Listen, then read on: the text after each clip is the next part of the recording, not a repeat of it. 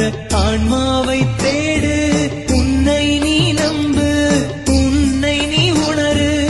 உனக்குள்ளே இருக்கின்ற ஆன்மாவை தேடு.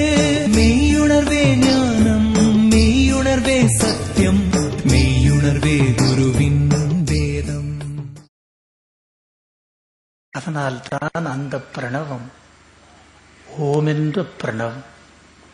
இதைத்தான் கீதையிலும் அட்சரங்களில் நான் ஆ என்ற அட்சரமாக இருக்கின்றேன்.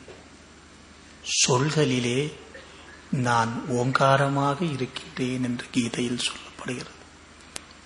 அதனால் தான் நான் ஜோதி சுரூபத்தையும் கடந்த பிரணவம் அந்த பிரணவத்தையும் கடந்து உள்ளிருக்கின்ற அமைதி நிலை. சுத்து சூனியத்தில் ஒன்றுமில்லாது இரண்டற்ற நிலையில் இருந்த நிலை அது. அதனால்தான் இன்று விஞ்ஞானம் ஒளிக்கு பிறகு உள்ளவற்றை தேடிக்கொண்டிருக்கின்றது அதனால்தான் அதை அறிவியல் ஞானம் என்று சொல்லுகிறோம். தோன்றி இருக்கும் இந்த பொருளுக்கு முன் உள்ள பொருள் எதுவோ அதை உணர்ந்து வெளிப்படுத்துவதே மெய்ஞானம்.